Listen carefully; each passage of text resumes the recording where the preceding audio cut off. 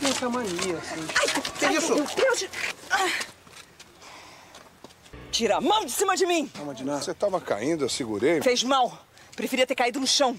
Calma, Dinaldo. Doutor Otávio só quis ajudar, só isso. Eu não quero a sua ajuda. Preferia ter quebrado uma perna. Me larga você também. Doutor Otávio. Desculpa.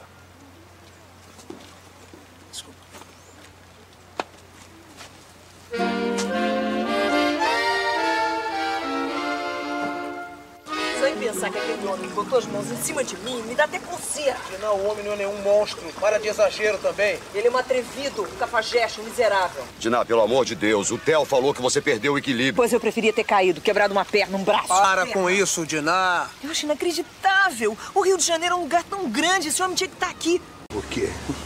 Deve estar perdida, Dudu. É, Cadê sua mãe? não sei. Viu, pai? Ela tá perdida. É. Eu vou ajudar a achar sua mãe.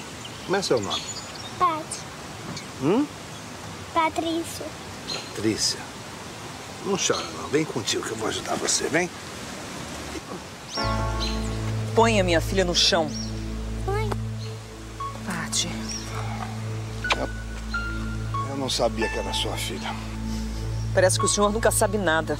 Ei, peraí, meu pai não podia adivinhar, né? Fica calma, Dudu. Maria, Maria, por favor. Ai, graças a Deus, não de nada. Vê se agora não perde a parte de vista, hein?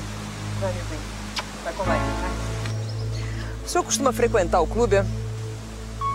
Muito raramente. Pois fique sabendo que eu vou vender o meu título para não correr o risco de encontrar o senhor aqui.